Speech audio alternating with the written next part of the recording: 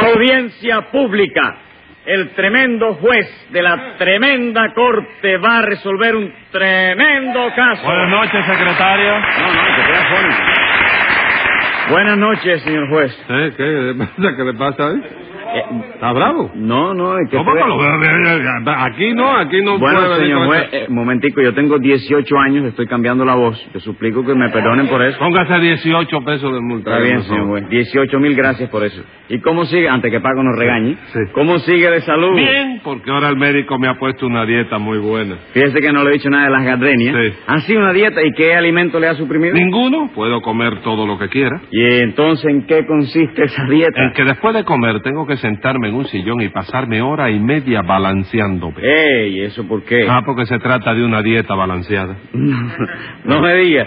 ¿Y le da resultado esa dieta? Ya lo creo. ¿Se acuerda usted de aquellos dolores de estómago que me daban siempre a las 2 de la tarde? Sí, señor. Pues ya no los tengo a las 2 de la tarde. Ah, no. No, ahora los tengo a las 2 de la mañana.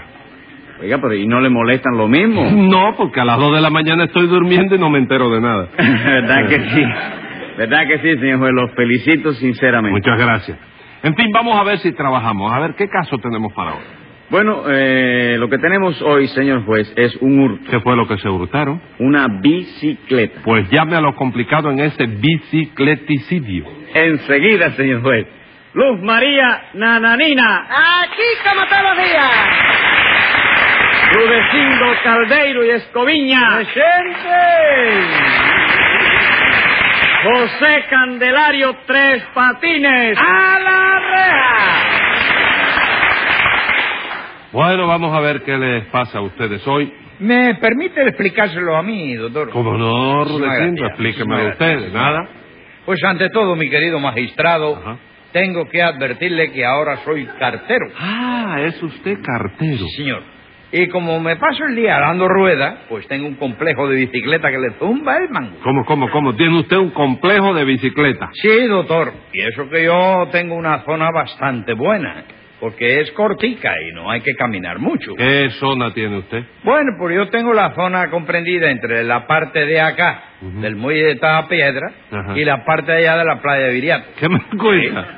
Y dice usted que no hay que caminar mucho, ¿verdad? No, porque según el reglamento de correos, yo solo tengo que repartir la mitad de las cartas andando. ¿Y la otra mitad? La otra mitad tengo que autorización para repartirlas a pie. Bueno, pero si la zona de usted queda entre el muelle de Tallapiedra y la playa de Viriato, ¿por qué no reparte las cartas en un bote? Eh, ya lo pensé, Nananía, ya lo había pensado. muy inteligente. Pero no se puede remar y repartir cartas al mismo tiempo, porque eso de repartir cartas es muy complicado, ¿eh? Bueno, y eso, perdóname que me... me Está perdonado. ¿Y eso por qué, Rudecindo? ¿Qué tiene eso de complicado, chico? ¿Cómo que no va a tener? ¿Cómo ¿Qué que no va a tiene de tener? complicado? Tiene- Mucho, compadre. Usted sabe repartir cartas. Bueno, como no voy a saber si eso es lo más sencillo que hay, chico. ¿Ah, sí? ¿De verdad? Bueno, a mí me lo enseñó mi tío Nicanor. ¿Seguro? Sí. ¿Cómo reparte usted las cartas, compadre? Bueno, muy fácil, chico. Yo, yo hago así, barajo. Entonces tú cortas. Entonces yo hago así, te doy a ti un 2 y me echo yo un as. Te doy a ti un 5 y me echo otro as.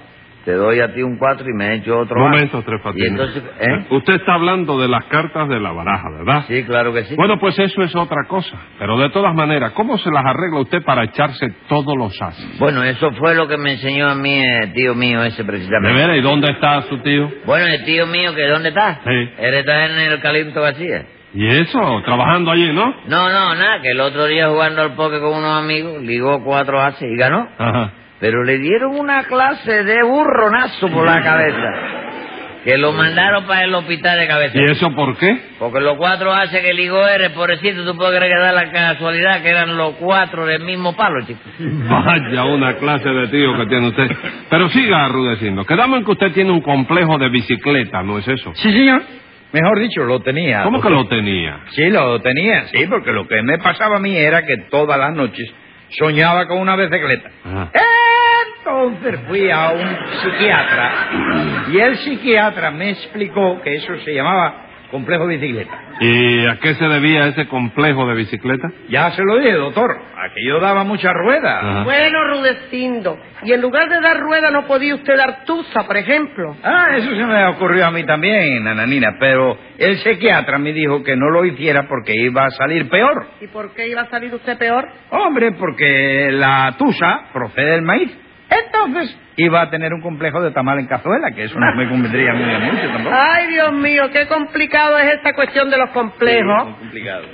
¿Qué es Oye, eso? sí, es complicado. Es complicado. A mí no me extraña que... ¿Usted también quiere complejito? No, que estaba pensando... No, a mí no me extraña que Rudecindo tenga cangrejo vinagreta. ¿Cómo cangrejo? Que- Complejo de bicicleta. Cangrejo de bicicleta.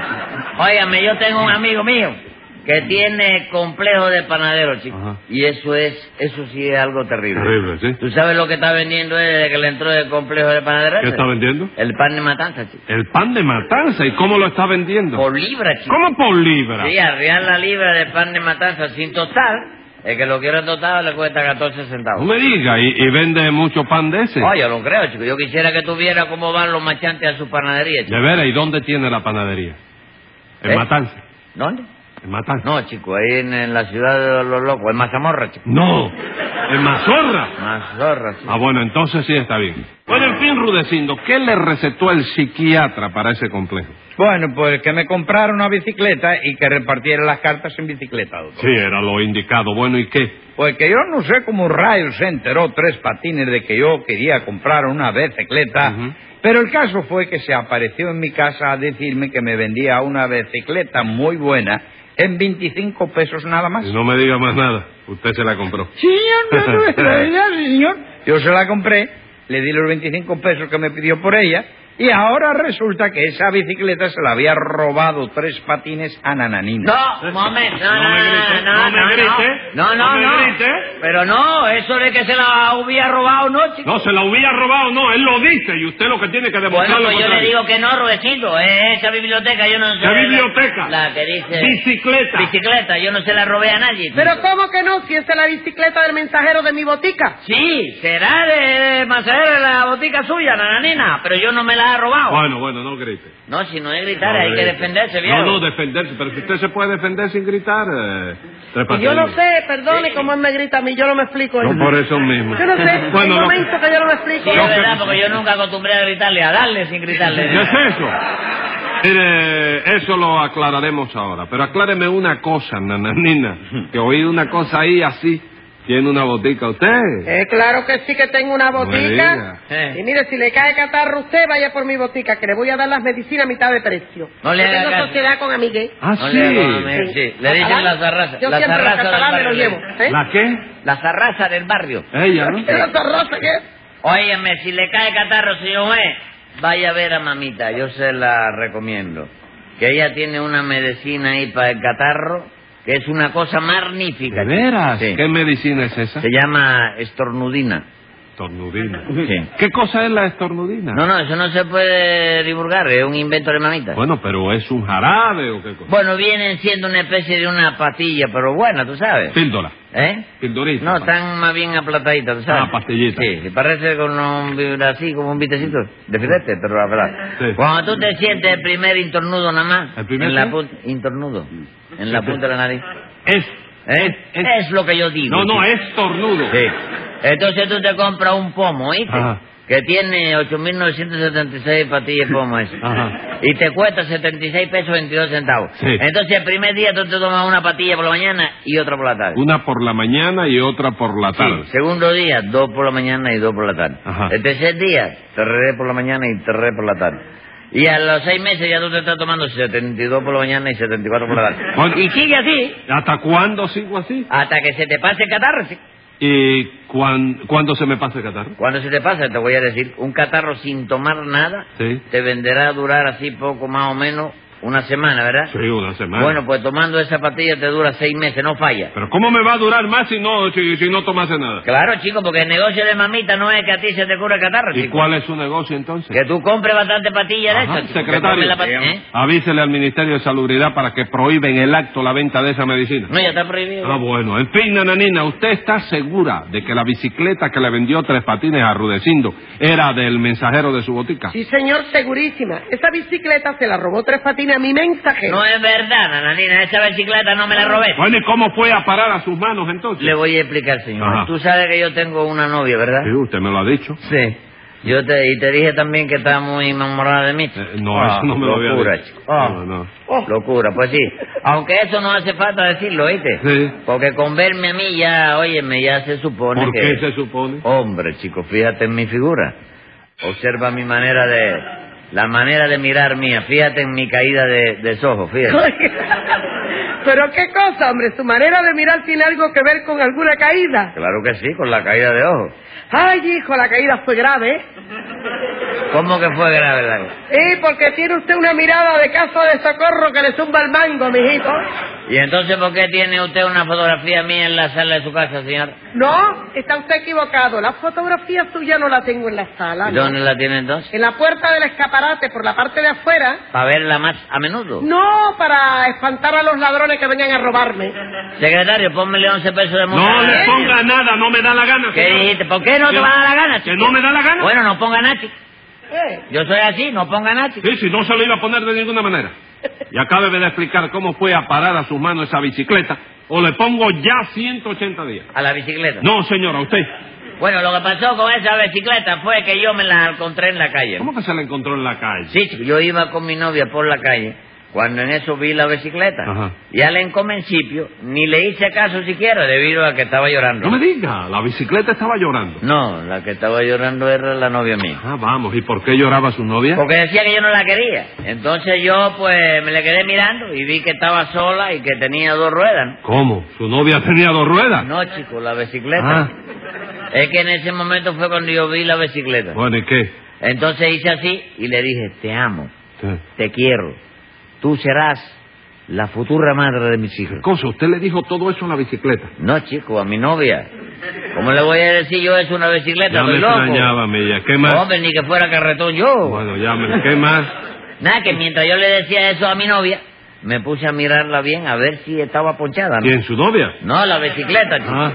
Yo no hablo castellano, ¿qué es lo que pasa aquí, chico? Mire, Tres Patines, lo que pasa aquí es que usted se trae un lío con su novia y con la bicicleta que no hay quien lo entienda. Sí. Y lo que yo quiero es que acabe de decirme qué hizo con ella. Con mi novia. No, con la bicicleta. Su novia no me interesa, señor. Ah, bueno, pues en vista de que la bicicleta estaba abandonada, Sí. yo hice así y me la llevé para mi casa. ¿Y por qué se la llevó para su casa? Porque yo creí que era órfana, chico. Dígame. Que estaba solita en el mundo, la pobre, ¿no? Y entonces me la llevé para buscarle un hogar. ¿Para buscarle un hogar o para venderla? No, no, no, para buscarle un hogar.